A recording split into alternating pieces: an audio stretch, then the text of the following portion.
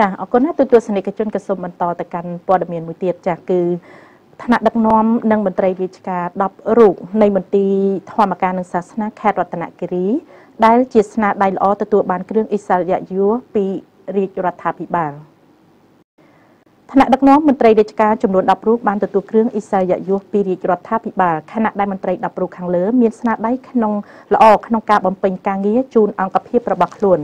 ពិធីបំពាក់មេដាយនិងគ្រឿងអិសរិយយសនេះប្រារព្ធធ្វើឡើងនៅសាលាខេត្តរតនគិរីក្រោមអធិបតីភាពឯកឧត្តមហឹមឆែម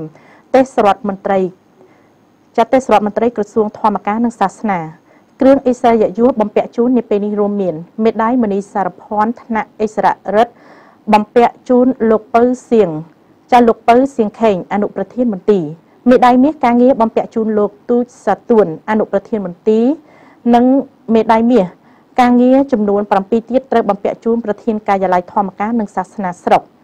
មានប្រសាសន៍សំណេះសំណាលជាមួយមន្ត្រីរាជការអាចារ្យនិងព្រះសង្ឃនាឱកាសនេះឯកឧត្តមហឹមឆែមទេសរដ្ឋមន្ត្រីរដ្ឋមន្ត្រីក្រសួងធម្មការនិងសាសនា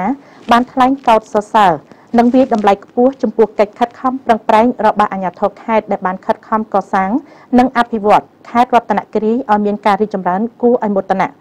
ឯកឧត្តមរដ្ឋមន្ត្រីបានលើកឡើងថារាជរដ្ឋាភិបាលកម្ពុជាដែលមានសម្ដេចតេជោជាប្រមុខបានធ្វើឲ្យប្រទេសជាតិមានការរីកចម្រើនទាំងផ្នែកអាណាចក្រនិងពុទ្ធិចក្រប្រជាពលរដ្ឋរស់នៅក្នុងសុខសន្តិភាពស្ថិរភាពនយោបាយនិងការអភិវឌ្ឍ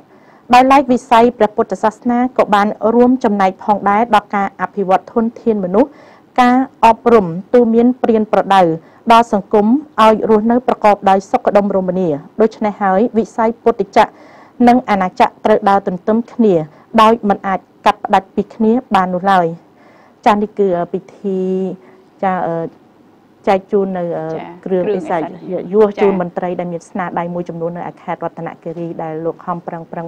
ខំប្រឹងប្រែងពីមួយឆ្នាំទៅមួយឆ្នាំនោះឲ្យ